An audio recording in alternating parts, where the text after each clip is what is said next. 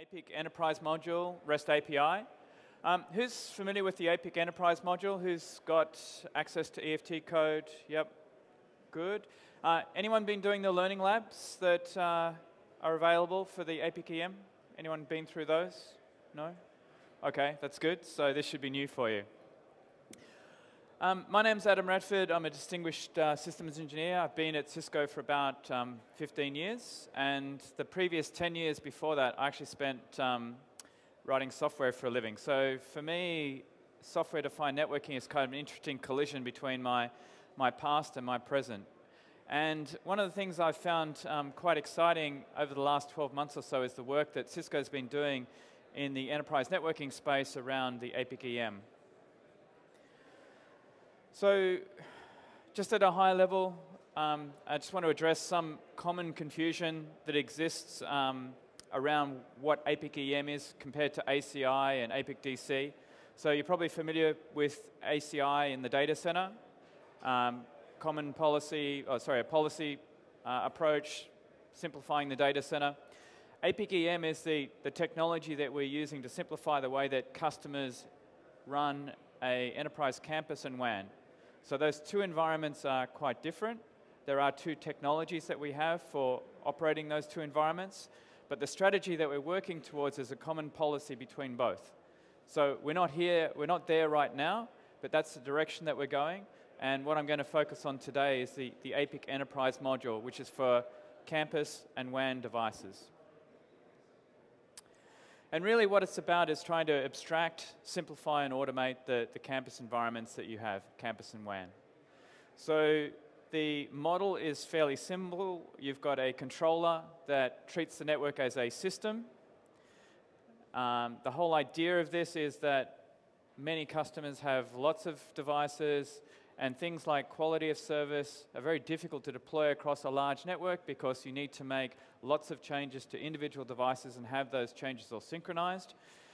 Um, the whole point of the controller is to give you that single point to interact with the network and to interact with the network as a system rather than a collection of individual devices.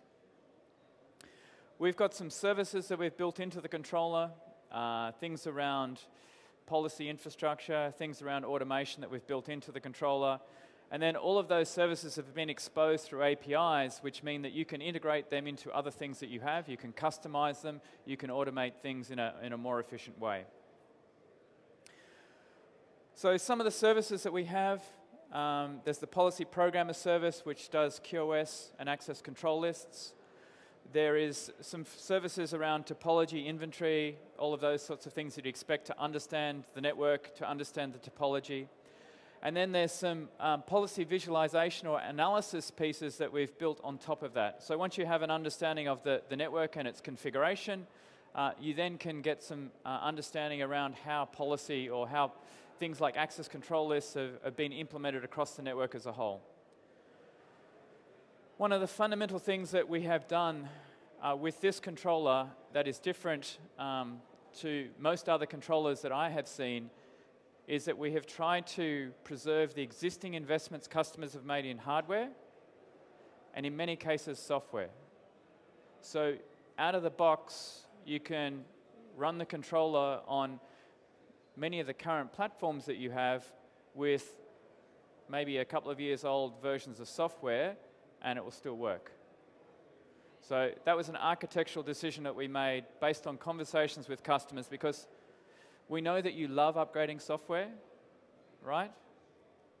And we know that you love upgrading hardware, not. So we've tried to, to solve that problem. Okay, so just a quick tour around the APIs. Everything in the controller starts with the, the notion of discovery. I discover the network device. Uh, I can do that via CDP. I can do that via IP address range. I can do that via credentials. So I discover the environment. I then build an inventory of network devices. Um, for a network device, I understand everything about it. I read in the full configuration. I understand all of the interfaces that are connected to it. I even understand the hosts that are connected to those interfaces. So I build a complete picture of the network and all of the, the devices as well as all of the hosts that are on that network. Uh, there are a couple of other things that I can do in terms of location. I can integrate into identity servers so that I can do a, a, a match between IP address to user. So I've got the notion of user, and I get that information either through Radius server, a Radius proxy service running on the controller, or through a protocol called um, PXGrid that exists on the Cisco Identity Services Engine if you're using that as a authentication server. I'm not going to cover REST APIs because I'm assuming that most people are familiar with REST. Is that fair enough? Everyone who's not familiar with REST? Not familiar with REST? Okay. Well, for anyone who's not, um, a REST API is really hard to use. If you can use a browser, then you, you know how REST API works because it's pretty much the same semantics as a browser. There's a concept of getting information where you put in a URL and you, you get it, and your browser refreshes and gives you the content. The only difference is that um, obviously it's not giving you images and pictures in the same format that you would see uh, for human display. It's giving you information that's formatted in, in other ways. And JSON is a syntax that is used to format that information. And essentially what you see here on the screen is JSON syntax. So keyword and value. Um, if you want to make a change, you can post, you can send information to the server, you can delete information. That's pretty much all it is. So the beauty of REST is that it's ubiquitous, it's very simple to understand, it's very easy to, to, to test. Um, there are a couple of tables that exist, or a couple of uh, resources on the server that exist that you can get access to information. If I want to understand all of the network devices that I have, there is a table called network-device. And if I look at an entry in a network device for a particular um, switch in this case, it's a 3750X. I get the serial number, I get the platform ID, the version of software that's running, the interfaces that uh, exist on that device, uh, a role for that device, a whole bunch of information about that device. Similarly, uh, for hosts that are connected to the network, I end up with a bunch of information about that host, whether it's a wired or wireless host, the IP address of that host, um, and I get to see some interesting things as well, like I get to see where that host is connected to the network. So this is the IP address of the device that it's connected to, and funnily enough, it happens to be uh, 2.18, which is actually this particular switch. So that's, that's a hint that these two devices are connected together. Um, I get to see the interface that it's connected on. Uh, and one other thing that we have done, and this is, comes back to sort of database technology, is that every resource on the controller has a 32 character identifier associated with it. So you notice that the first um, attribute is ID, and it's a 32 character number, and that will be unique. So it's universally unique identifier, it's 32 characters, and it identifies that resource uniquely over the controller. Now the interesting thing about that is that while I have trouble remembering 32 character strings, APIs and computers don't. And because it's guaranteed to be unique, it makes it very easy programmatically to, to link resources together. And what I'm showing you here is that if you look at the connected network device ID, you notice that there's this large string that ends in 594. That happens to be this device. So that's how I actually know that those two devices are connected together because IP addresses can change, all of the other attributes about the device can change, but that identifier will never change. Um, it's very easy and very useful uh, just to, to look at those tables. So a little script that I wrote called host.py, uh, all it does is it just goes through and looks at the, the controller that I have and looks at the hosts that are connected or that are on that controller, the device that it's connected to, and the interface that it's connected to on that device. So it's a very simple example of how you can just go and access information on the controller and use it in an interesting way. Um, one of the other things that I put together was just a little report based on looking at all the network devices. So I've just printed out the, the platform, the serial number, the name of the device, the version of the device, and the, the device ID. Now, this is uh, something that's really easy to do. It's a couple of lines of Python, and you know, that's one of the powerful things about um, APIs is that a couple of very simple lines of Python, and I can print out uh, the attributes that I'm interested in, put it into a report, format it, do whatever I want. So everything on the controller is available through this, this API. Actually, one thing I should do is just show you the controller quickly so you can see that device inventory is actually that network device table. And this is just a, a quick view of that. But one of the critical design criteria for the controller was that everything that you can do through the user interface is available through an API. So it's one of the first products in Cisco that I have seen that has had that as a fundamental design criteria. So you can't do anything in the UI that you can't do programmatically through an API.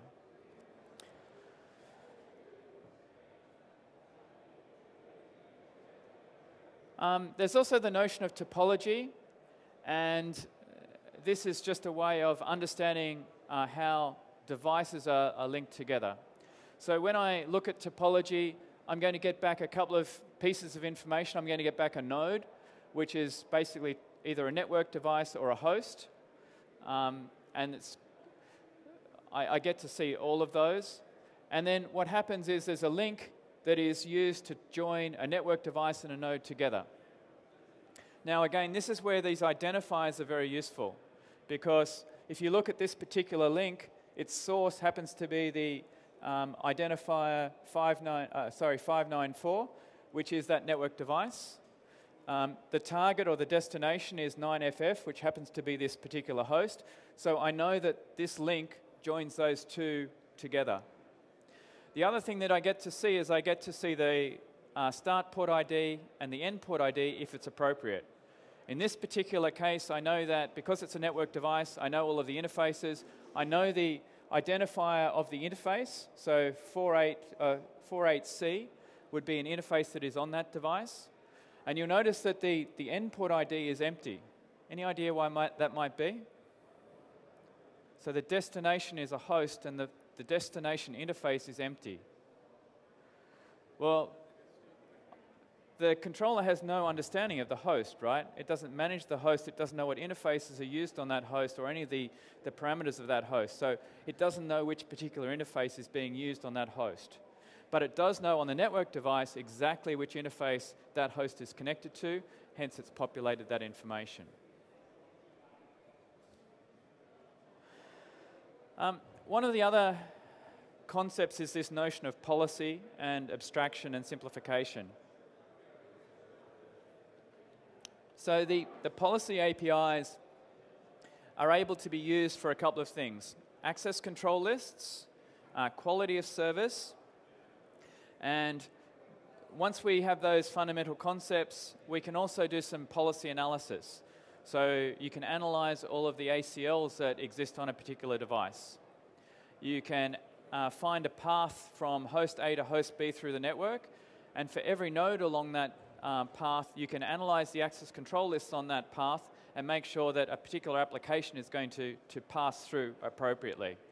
So that's the power of the, the analysis piece, is that we can start to analyze an understanding of the network as a whole and get an end-to-end -end view of how a, an application is going to perform, whether it's going to be able to traverse a particular path, and we can deploy things like QoS uh, across the network as a whole. Now, these are applications on the, uh, the controller. So if I look at um, quality of service and the EasyQoS app, essentially what we've done with this is we've, who's read the Cisco validated design for QoS, for quality of service? It's about a 380 page document. Goes into tremendous detail how on every particular platform you could deploy quality of service in the optimal way. Um, what we've done is we've taken that and turned it into a one-click application.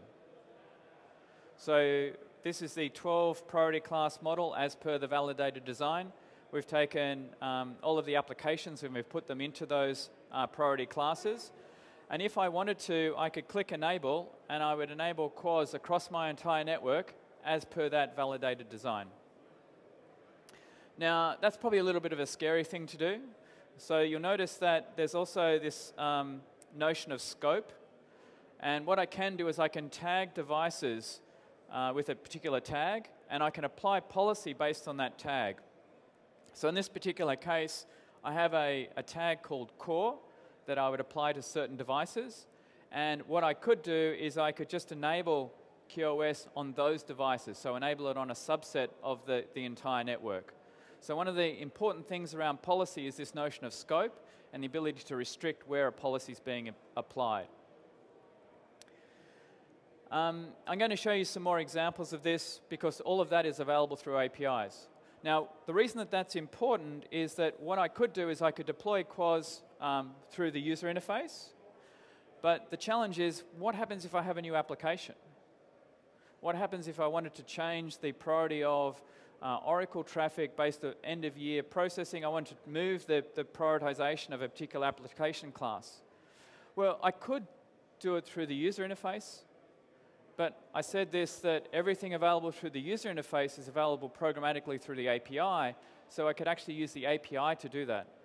And that would mean that if I was deploying a, a new application, I could automate the way that that got uh, added to the QoS um, environment, and I could dynamically change the QoS settings for applications um, based on time of day, day of week, some other policy if I wanted to. Um, the policy construct is, is quite simple. You've got the notion of a policy name, you've got the notion of a, a source, either IP address, user, um, an application, where you're going to, and then you've got the ability to permit, deny, or copy traffic. Um, if you permit traffic, you can actually change the, the priority level, uh, and that's really marking traffic, so it's, it's making it prioritized higher or lower. Uh, one of the really good use cases for this is voice traffic, where you've got um, soft phone clients, for example, and you want to make sure that just the, the voice or the video for a particular client is going to be prioritized in a certain way. Uh, there's a partner over in the uh, world of solutions that's developed an application based on Microsoft Lync. So they will take the, the Lync, um, call detail records or XML, sorry, the uh, SDN API from Lync, and then they'll turn that into policy and program the network dynamically. So when a call's set up, it will prioritize the voice and video for those soft clients. When the call's turned down, it will remove the policy.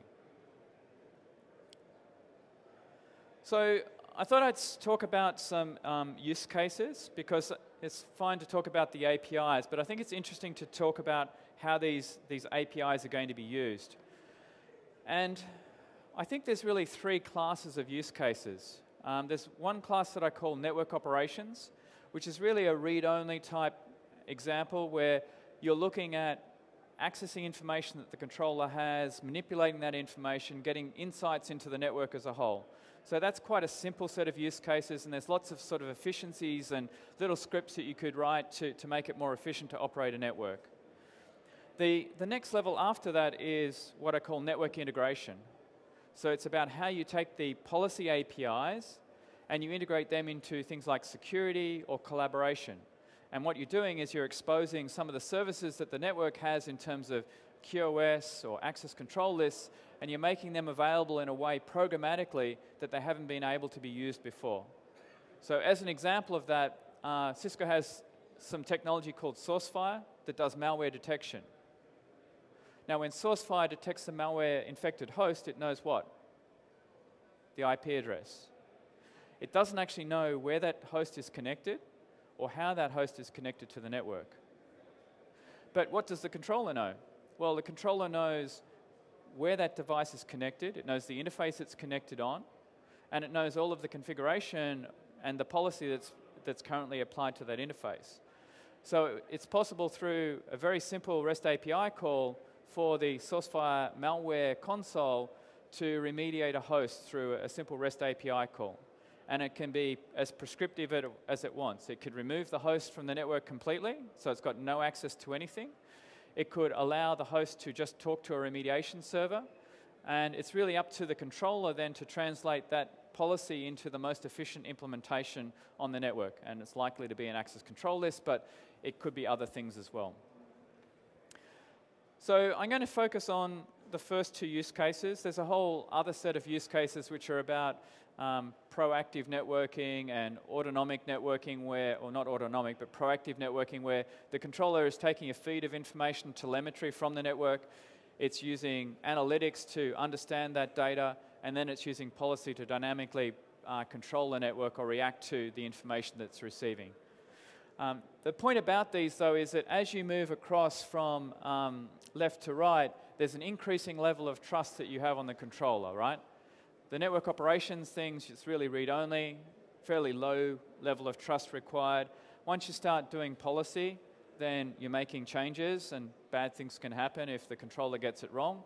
And then when you move across to this sort of innovation piece where you've got this whole predictive, proactive networking going on, then your level of trust of the controller is relatively high.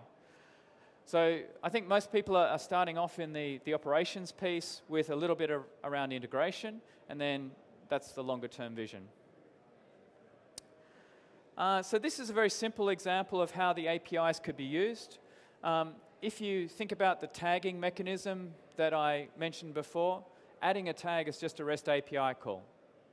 So uh, network device slash tag, and it's a post, and I give it the network device ID and the name of the tag, and that tag will be applied to that particular network device. Now, obviously, if I have a, a large network, I could, through the UI, do bulk tagging, so select a bunch of devices and tag them. But for many people, and you can have multiple tags on a device, you probably want some other way of automating the application of tags to devices. So a simple, very simple script is just a script that takes a uh, identifier of some sort. So in this case, it's looking for the string branch. So any device that has the name branch in it, it's going to apply a tag called branch. So that's a very simple example of how you could use the APIs to um, automate the, or Whoops. To automate the way that um, tagging is done. And everybody will have their own rules, right? So if you look at how this is done, it's really very simple. I have um, something that needs to find what a tag is. I've got a little routine that is able to tag a device. So it just gives me, a, it takes a device ID and a tag and makes that REST API call. And then, of course, I have the ability to remove a tag as well.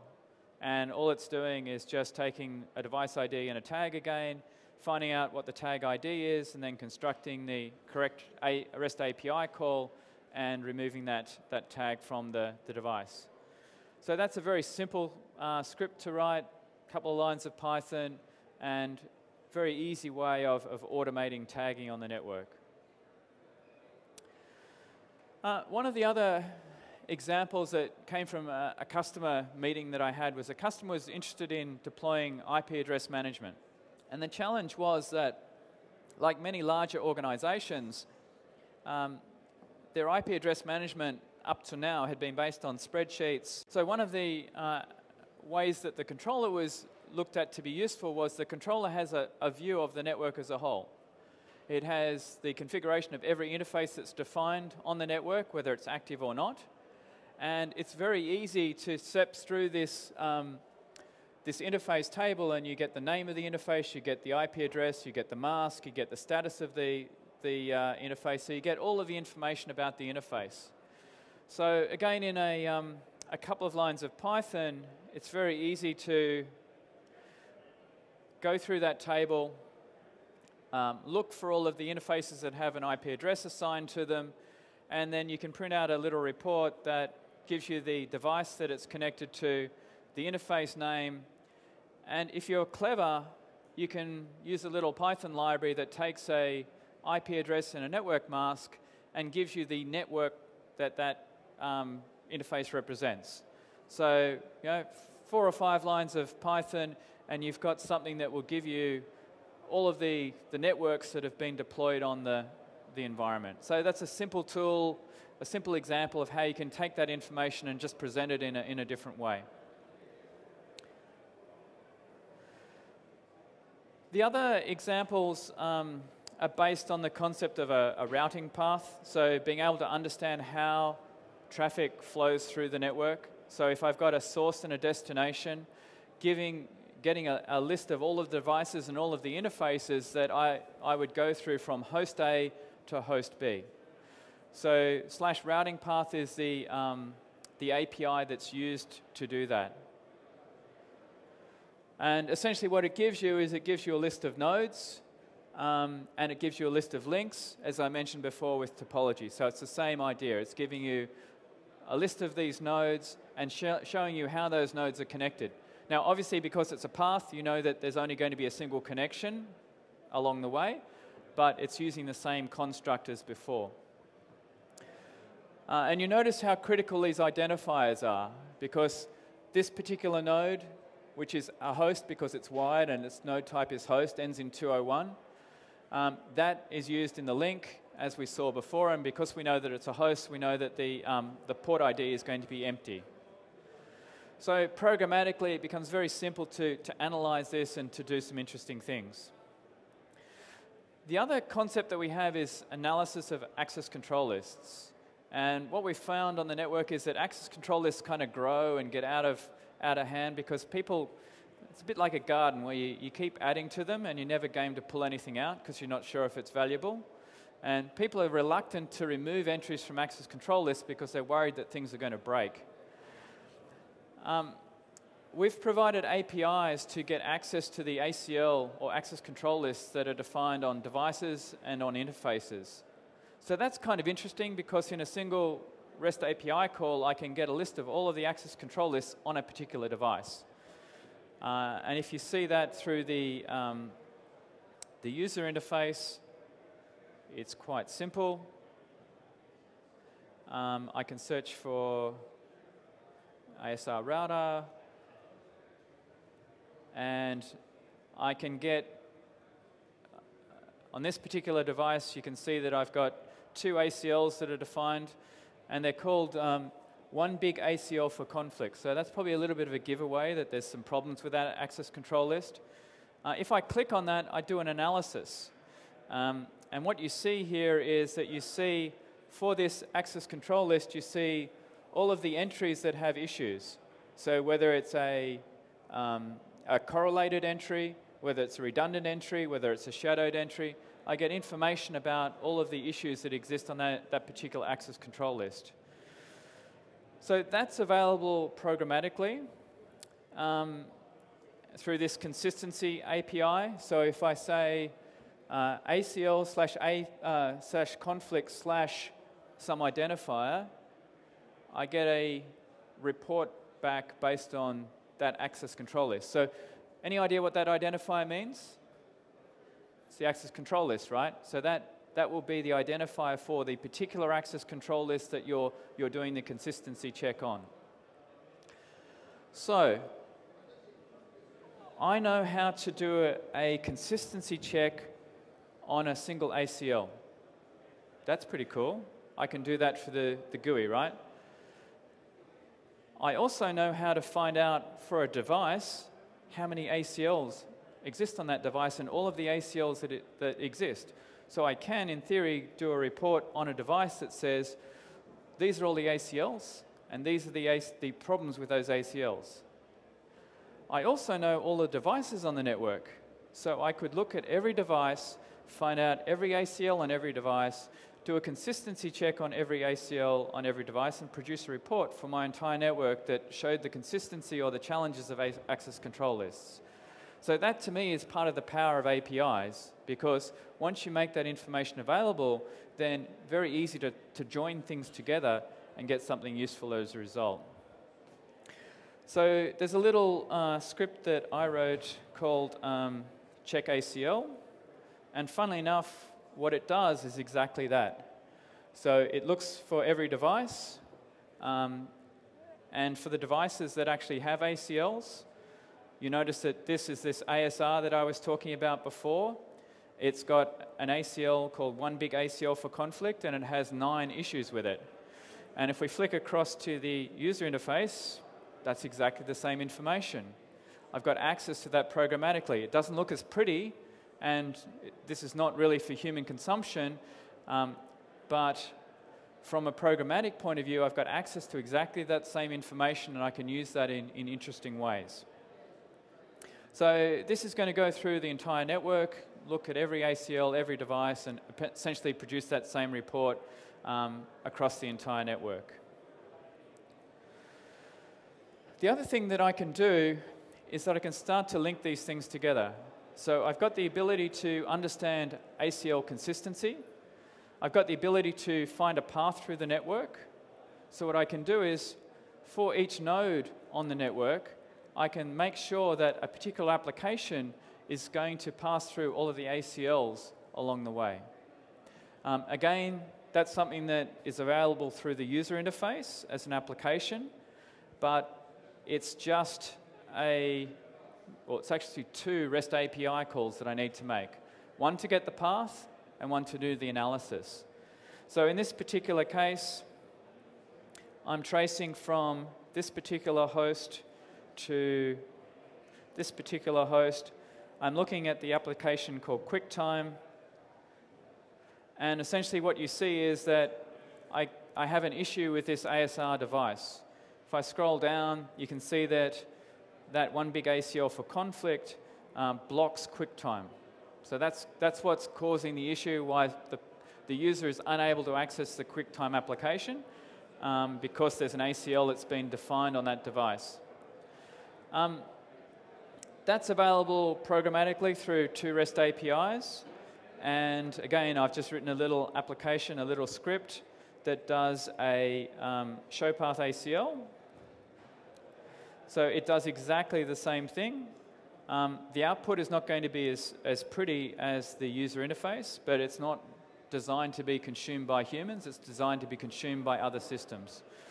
So if you look at what's going to happen here, I've got the path through the network, and this is essentially a whole link of those, a whole list of those, um, those links. And then I'm going to collect that path information, and then I'm going to uh, run the report or run the, the ACL check on that, and then I'm going to produce the same sort of output that you saw on the user interface via the API. So it's very simple to do. It's two REST API calls and just an example of how you can integrate this into a help desk application or some other system. This is also running in my lab in Australia, so the latency is a little bit longer than normal, which is why it's taking uh, a little bit of time. Um, but it should complete pretty soon. Yeah, so there it goes. So essentially what you're seeing is exactly the same thing as before, and these are the, um, the entries that are causing the problem. So port 458, which is the QuickTime app, is being blocked. That's exactly the same that you saw uh, from the user interface. Okay, so we've been through that. Um, of course, applications are just another resource. They have an identifier. So if I wanted to check a different application, I just use a different identifier, and that would uh, do the appropriate thing. Um, the other thing that we have done on the controller is that it's self-documenting. So all of the APIs are documented through something called Swagger. So if you click on the API button, you get a list of uh, all of the, the APIs. Um, one of the cool things about this is that if you go and have a look at a particular API, um, you're able to see the syntax, you're able to see the way that it's used. Um, let's say I want to know how many network devices I have on the network. Um, there's a button called Try It Out.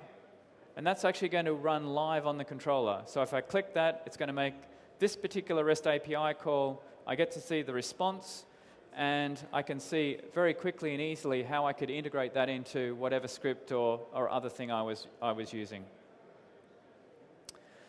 Um, just going to talk a little bit about integrations. Uh, I mentioned the policy piece, I mentioned collaboration and security. So these use the, the policy APIs. Uh, the policy API is very simple. Um, essentially what you do is you have attributes that match the things that you saw on the, the user interface. Uh, the only one that is um, not available on the user interface is this notion of a policy owner that's always admin. But the network user has an identifier, has some applications. Um, the action property in this case is setting a priority level to 46 and it's permit. And the policy name is voice audio 4000, sorry, 40015. So essentially what this is doing is it's marking um, traffic coming from this particular host using port 12340 to be um, DHCP46, which is real-time traffic. So this is just taken straight from a little app that I wrote to, uh, to prioritize uh, soft phone traffic dynamically. Um, when I create a policy, I get a, uh, a task, and the reason that that happens is that the controller is designed to be very scalable. So everything is asynchronous, it's loosely coupled. When you ask for something to happen, it doesn't happen immediately, it's not synchronous. So the controller will take your request and it will give you a job ID back. It's like a little ticket that you, that you then use to ask the controller how it's going. When the task is completed, you'll find out um, what's happened. Um, so this is the example of looking at that particular task, and you can see that a task has an identifier, of course. Um, and what's happened is it said progress is this particular identifier. And what that means is that that's the identifier for the policy that has been created. So if I wanted to remove that policy, I would just need to delete policy slash policy ID. So I can very easily delete that policy if I want to, once I've created it. I can look at it to see how it's gone, etc. Um, if it fails, uh, and, and policies can fail in two ways.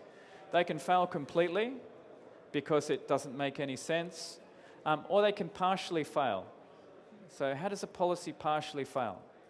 Well, a policy partially fails if you define it and there is no host uh, connected to the network. So if, for example, you define a policy for um, my, an IP address or a user that isn't connected to the, the network, the policy will partially fail. It will succeed in, in being defined, but it won't be implemented because there's no, nowhere to implement it. But the interesting thing about that is that when it's in that um, inactive state, it's still resident on the controller and still uh, available.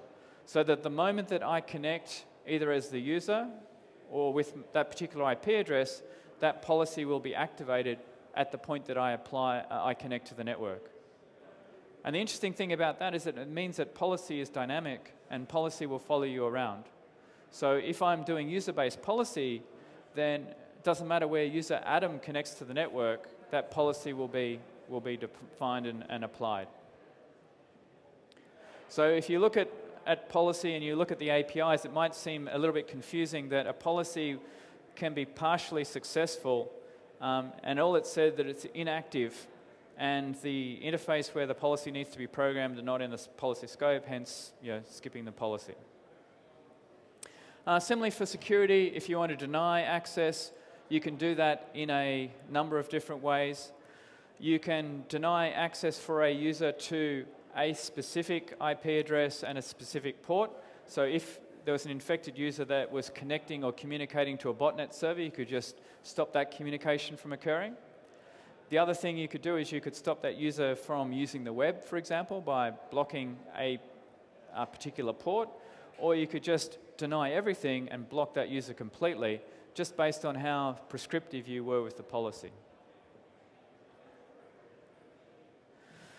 So that's all I had um, planned to talk about. Um, just some other things that are going on. There's an SDN BOF down the other end of the, um, the center, down in the classroom at 1.30. I'll be, I'll be there for that. Um, I'm also doing a deep dive session tomorrow, or a, a practical session tomorrow, where some of the applications I showed you today, you'll get to, um, to modify and edit and, and uh, play around with. And it's really just aimed at some basic Python scripting, showing you how the APIs can be used, allowing you to modify some of those scripts and um, make it easy for you to get some experience to get started. So thank you very much for your time and attention. Uh, have a great Cisco Live, and thanks for coming along. Bye.